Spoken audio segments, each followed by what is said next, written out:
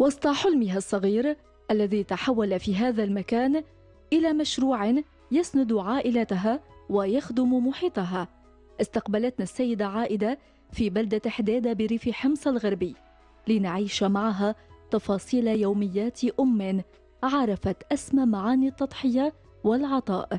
باستشهاد ابنها الشهيد البطل محمود موسى عام 2012 التاريخ الذي زادها صلبة وعزيمة بعد أن اختبرت أسمى معاني العطاء. كان يخدم مدرسة المشاة. آه كيف تلقيت الخبر؟ كان صعب كتير.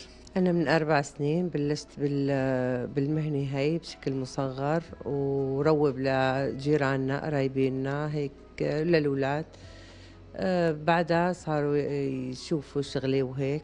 بعدين عاد صاروا يطلبوا مني إنه وسع شوي. كنا نجيب كمية قليلة. صرنا عاد شوي شوي صار زوجي يجيب آه مثلا يجيب يزيد كمية الحليب. آه بعدين عاد توسع شوي شوي صرنا نعمل ألبان آه جبنة لبنة آه غير اللبن يعني. يعني تأسس بعشر سطول لبن بدي أقول. فعلا تأسس كان عند نعمل عشر سطول لبن.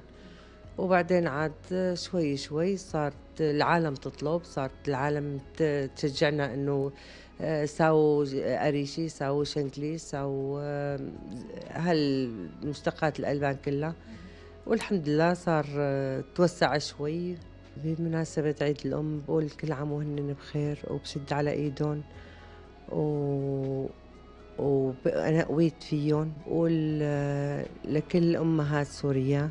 اللي عندها مشروع صغير تقويه تشتغل يعني فعلا الواحد يعني بيشتغل بكرامته بيربي اللي عنده بيلبي له طلباته يعني مو عيب الشغل عيب انه الواحد يحتاج. هي الإرادة التي ما إن امتلكتها حتى تفتح أبواب كانت مغلقة أمامك وهي صورة أم خبرت عظمة التضحية واستمرت بعطائها.